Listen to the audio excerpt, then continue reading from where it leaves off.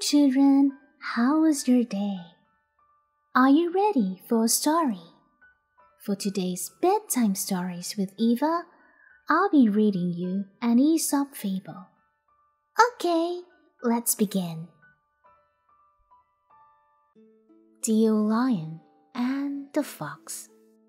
An old lion whose teeth and claws were so worn that it was not so easy for him to get food as in his younger days, pretended that he was sick.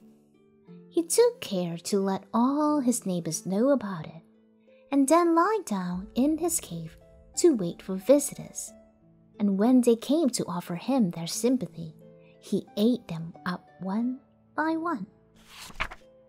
The fox came too, but he was very cautious about it. Standing at a safe distance from the cave, he inquired politely after the lion's health. The lion replied that he was very ill indeed and asked the fox to step in for a moment. But Master Fox very wisely stayed outside, thanking the lion very kindly for the invitation.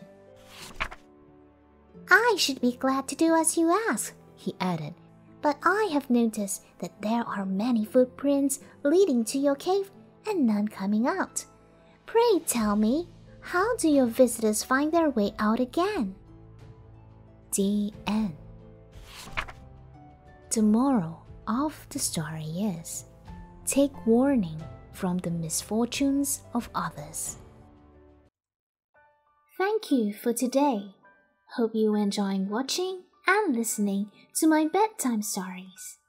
Please subscribe to my YouTube channel and follow me on Twitter and Facebook for more upcoming videos in the future.